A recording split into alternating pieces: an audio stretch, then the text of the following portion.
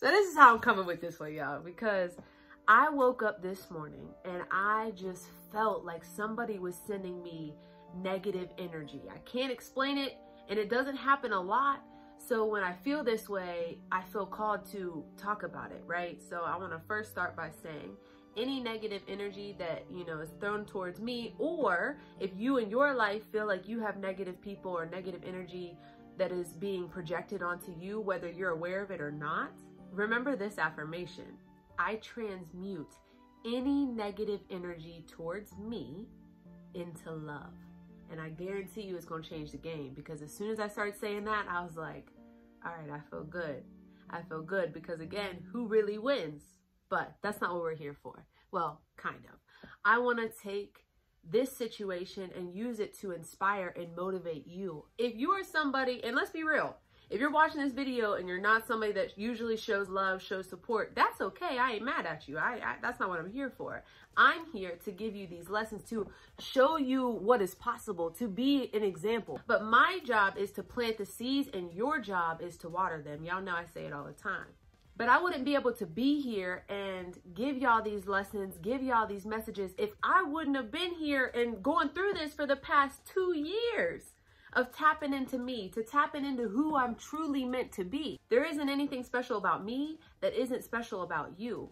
And when I say that, I mean all of the qualities that you recognize within me. The emphasis on recognize is because they are within you.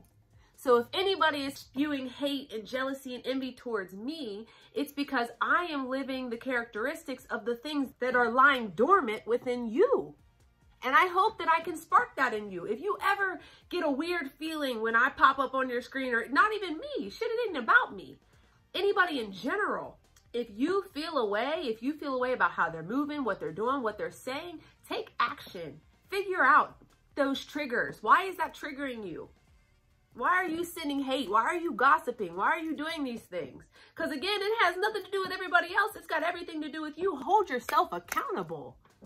Something got me hot. I don't know who did this, but this is for you. I don't know who's been sending me negative energy. I don't know who's been sending me hate, but I'm transmuting it into so much love and saying that you ain't got to hate on me. Embrace these things. Embrace those feelings I give you and allow them to motivate you and push you to be the best version of you because that's what I'm here for. That's what I, my purpose, I feel called to do. If I gotta lead by example, absolutely. I am a leader. I will do that gladly right? But again, it is my job to plant the seeds and your job to water them. So if you have been here, you support me, I motivate you, I inspire you, thank you. That is exactly what I want. And I know that if you're winning, I'm winning. And believe it or not, the biggest form of manifestation is, and this is crazy, I just recently learned this, sending love to other people. Like other people in my life that I know got things going on, that I know want have big dreams and all these things, I send them love. I send them the most positive energy. I send them support, all of it. Why? Because that's a reflection back to me. What you give, you receive. Don't forget that. So,